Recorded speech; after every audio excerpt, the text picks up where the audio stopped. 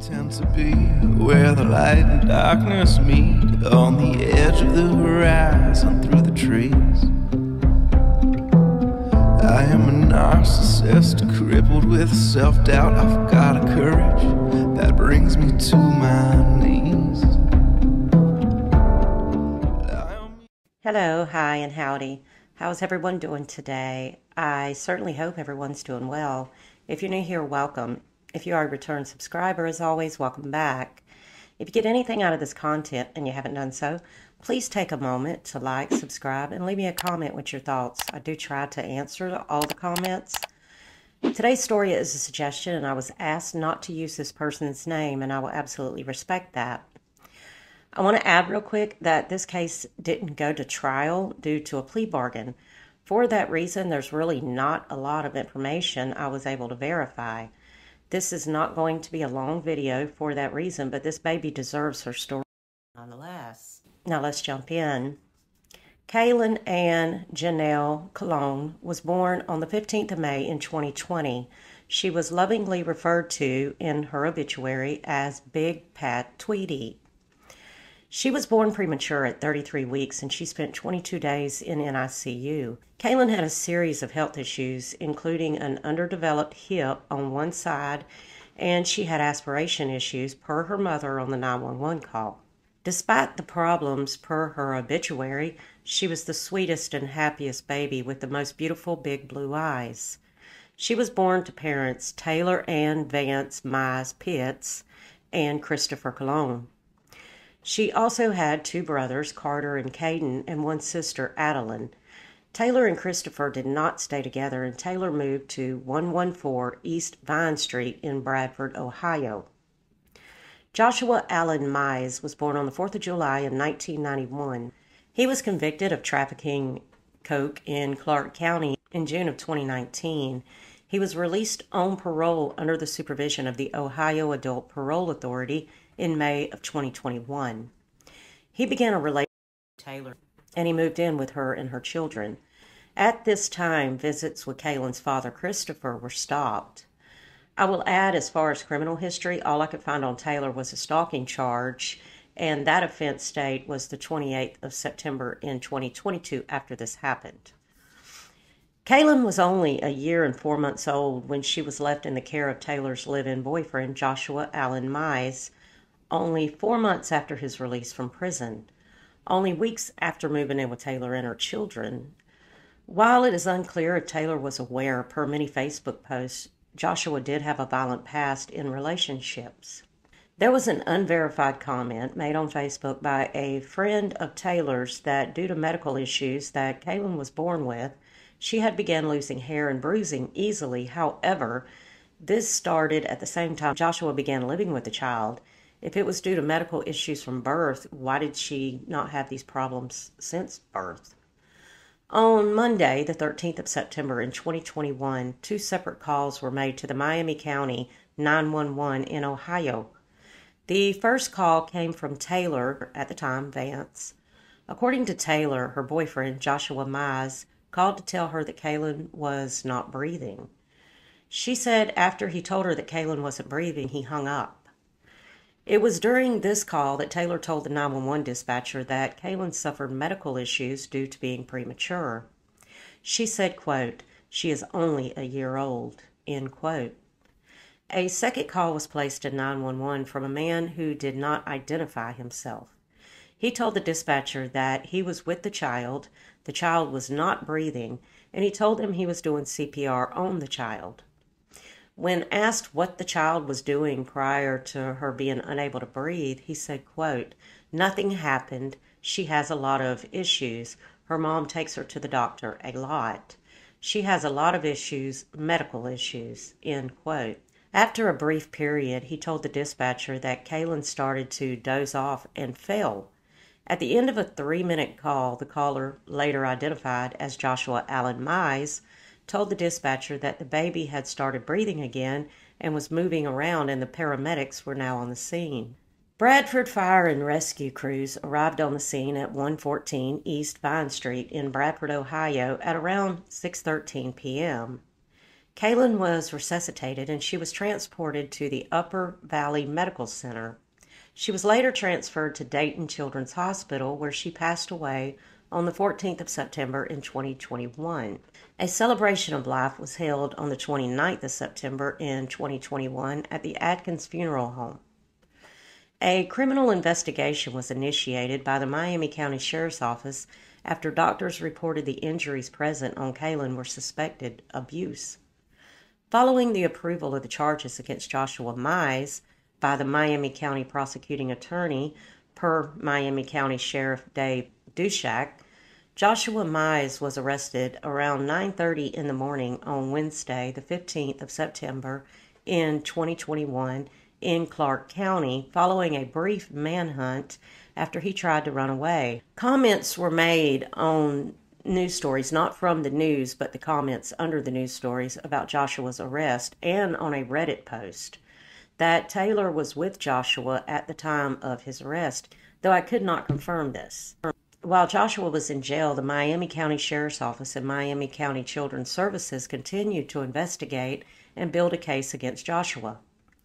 Joshua Alan Mize pled not guilty during his arraignment on Thursday, the 16th of September in 2021. He was held in jail on a $1 million bond on charges of first degree, taking the life of Caelyn, second degree felony child endangering and felonious assault, tampering with evidence, and theft of property valued of over $1,000 but less than 7000 Per the bond document, if Joshua was able to make bond, he would be required to wear a GPS monitor. He was also ordered no contact with Taylor or Richard and Debbie Bourne, which would be Caelyn's grandparents per Caelyn's obituary. The order was signed by Judge Jeannine N. Pratt, but where the defendant was to sign, it said refused to sign. It seems that the no contact order with Taylor was not followed through, as per Taylor in many social media posts. She visited him and they married, which seems would be tricky to pull off without contact. On the 12th of October in 2021, pre-trial and trial was scheduled for Joshua. He received defense counsel, which was John Mealing. The prosecutor was Paul Watkins and Anthony Kendell.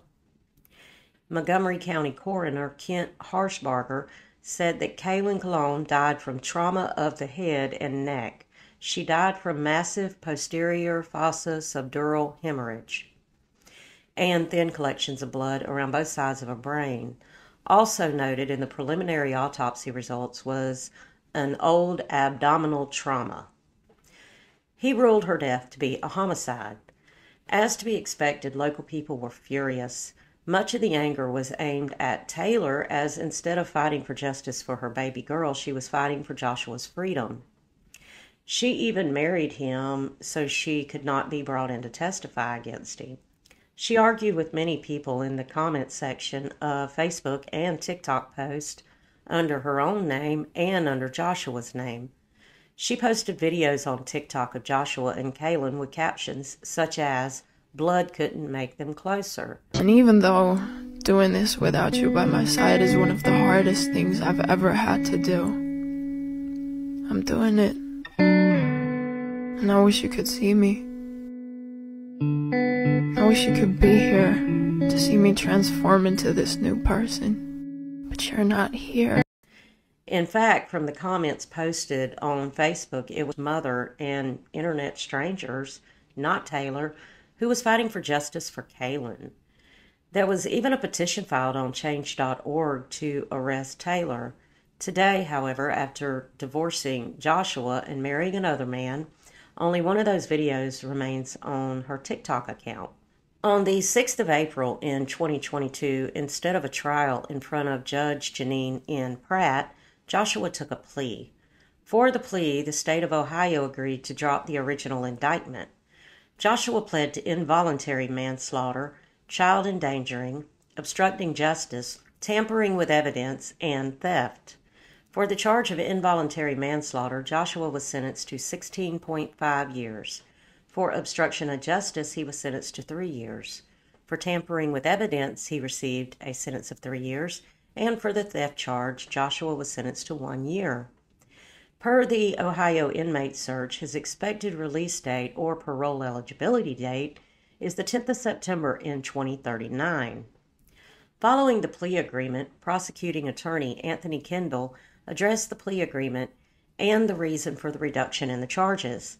He said the case developed unforeseen risks as it progressed. He further explained that the Montgomery County Deputy Coroner, Kent Harshbarger, changed his opinion on the cause of death from homicide to accidental death. He said this change was not at any time supported by the Montgomery County elected coroner. The unprecedented change of opinion severely undermined certain elements of this case. He furthered with quote, I weighed what would be best to serve the victim, her family, and the public. The risk of the defendant, Mize, going unpunished for his actions, I accepted a plea of a lesser charge. I trust the public will understand this was not a decision that I made lightly. End quote. Judge Jeannine N. Pratt also spoke out during the sentencing hearing. She expressed difficulty over her decision of, of, the sentence. She said the original recommendation was for a sentence of a minimum of 15 years and a maximum of 18 years. She said she has lost sleep over the decision. She further said that prosecutors have more knowledge of an investigation and how they have to evaluate possible outcomes and evidence issues. Nothing is guaranteed by a trial. She said she would give Joshua Mize consecutive sentences in order to protect the public and to hold Joshua accountable. She addressed Joshua Mize directly, saying, quote, Your actions were just plain evil. End quote. By running the sentences consecutively, his maximum sentence total was 23.5 years. He was also ordered to pay a fine of $20,000 for involuntary manslaughter $10,000 for obstructing justice, and $2,500 for the theft charge. The court does have the option to deny Joshua receiving good time credit. He did receive credit for 234 days that he spent in jail, however. Two of Caelyn's family members read impact statements in court, and many others gave impact statements by writing them. One family member said, quote, Evil does exist in this world, don't let Caelyn's death be in vain. He is a danger to all children and women. Another family member pointed out that Caelyn was premature and spent 22 days in NICU. Quote, she was little, but she was the sweetest little girl. End quote. Joshua Mize declined to give a statement other than, quote, it's a tragedy, end quote. Judge Jeannine Pratt then went over Joshua's history. She pointed out that he has a history of violence and drug abuse. She said that he was on post release control, also referred to as parole, during the time of the incident and had only been released from prison since May of 2021, and he received eight infractions during his time in prison. Well, ladies and gentlemen, this brings us to the end of Caelyn Colon's story. Rest easy, Caelyn. Rest easy, baby girl. You are free. If you haven't done so and you get anything out of this content, please take a moment to like, subscribe, and leave me a comment with your thoughts. If you have a case suggestion, please email it to me at jenny, period, elisa, period, discusses at gmail.com. And until the next video, toodles. I am equal parts sacred and profane.